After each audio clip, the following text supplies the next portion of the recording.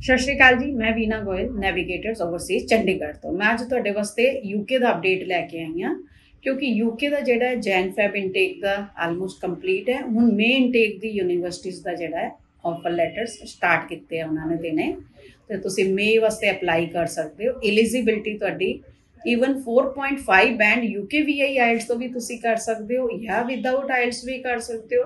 ਜਾਂ ਤੁਹਾਡੇ 6 ਬੈਂਡ ਨਾਟ less than 5.5 ਜਾਂ ਚਾਰਾਂ ਚ 5.5 ਹੈ, ਤਾਂ ਤੁਹਾਡਾ ਆਲਮੋਸਟ 100% ਆਫਰ ਲੈਟਰ ਆ ਜਾਂਦਾ ਹੈ। ਯੂਕੇ ਇੱਕ ਇਦਾਂ ਦੀ ਕੰਟਰੀ ਹੈ, ਜਿਹੜੀ ਤੁਹਾਡੇ, ਤੁਸੀਂ ਸਪਾਊਸ ਦੇ ਨਾਲ ਜਾ ਸਕਦੇ ਹੋ, ਤੁਸੀਂ ਆਪਣੇ ਬੱਚੇ ਨੂੰ ਨਾਲ ਲੈ ਕੇ ਜਾ ਸਕਦੇ ਹੋ, ਔਰ ਜੇ ਕਿਸੇ ਵੀ ਕੰਟਰੀ ਤੋਂ ਤੁਹਾਡਾ ਰਿਜੈਕਸ਼ਨ ਆਇਆ ਯੂਕੇ ਤੁਹਾਨੂੰ ਫਿਰ ਵੀ ਵੀਜ਼ਾ ਦਿੰਦੀ ਹੈ, ਚਾਹੇ ਕੈਨੇਡਾ ਤੋਂ ਆਇਆ, ਚਾਹੇ ਆਸਟ੍ਰੇਲੀਆ ਤੋਂ ਆਇਆ ਤੁਸੀਂ ਇਸ ਮੌਕੇ ਦਾ ਫਾਇਦਾ ਜ਼ਰੂਰ ਉਠਾਓ ਯੂਕੇ ਦੀ ਜਿਹੜੀ ਫੀਸ ਹੈ, ਉਹ ਤੁਹਾਨੂੰ ਸਾਲ ਦੀ